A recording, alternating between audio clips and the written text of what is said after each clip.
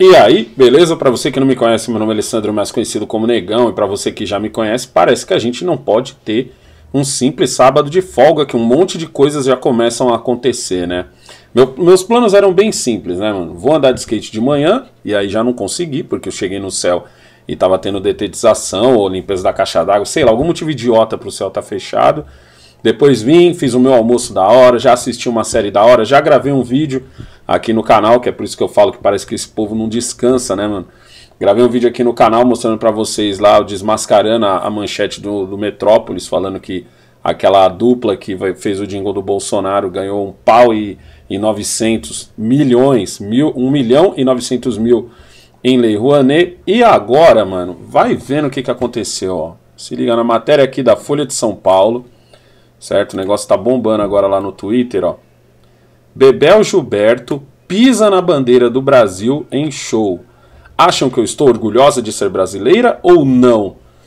Aqui a gente tem que notar certas coisas, como por exemplo, quem é Bebel Gilberto? Cara, eu sou, eu sou músico. Juro pra você, eu sou músico. Eu sou um cara que ama MPB, eu amo música brasileira, tá ligado? Eu não sabia quem era Bebel Gilberto. De verdade. Tipo assim, se alguém falasse, negão, canta a última música da Bebel Gilberto. E dessa vez não, não é nem zoeira. Normalmente o pessoal fala assim, aparece algum artista em tal anti-horário e a pessoa fica, não, mas quem é esse fulano? Mas tipo zoando. Mas eu, eu literalmente não sabia quem era, quem era Bebel Gilberto. Aparentemente a moça fez um show lá no. Olha lá, em turnê pelo Canadá e Estados Unidos, Bebel Gilberto protagonizou um momento polêmico no show que apresentou na última terça-feira, dia 19, na Califórnia. Ao resp... Porra, foi dia 19. Ou seja, só os gringos conhecem ela. ela. Sei lá, ela deve se apresentar falando que é brasileira e canta música brasileira. E os brasileiros mesmo não tá ligado. Ao receber uma bandeira do Brasil de uma pessoa da plateia, a cantora a joga no chão e começa a sambar em cima. Os gestos também remetem ao movimento de quem está usando o pavilhão com pano de. Ah, quem está usando, não, acho que quem está limpando, né? O, o pavilhão com pano de chão pelas imagens. Cabe as duas interpretações. Tá legal. Vamos ver as imagens aqui, ó. Que quem compartilhou foi o Mário Frias. Já tá aqui no jeito, ó. Olha aqui a moça Deixa eu deixar grande aqui que é para vocês poderem ver melhor, ó. Ó. Deixa eu ver se vocês vão conseguir ver melhor.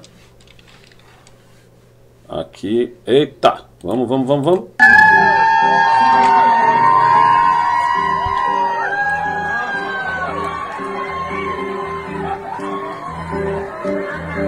É, na verdade ela tentou sambar, mas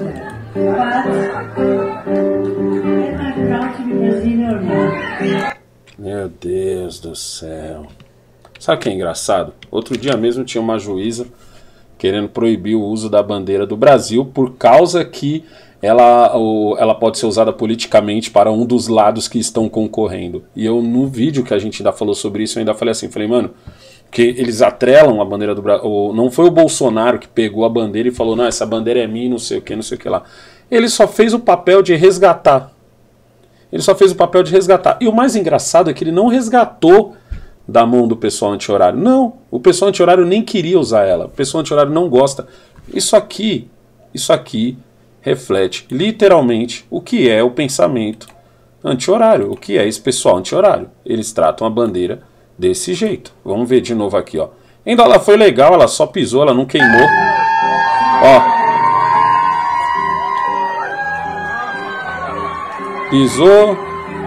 Pode dizer que ela sambou, pode dizer que ela limpou o chão com a bandeira. Eu acho que ela sambou. Sabe qual é a parte mais engraçada? É você ver os brasileiros aplaudindo isso, principalmente o brasileiro que está fora do Brasil.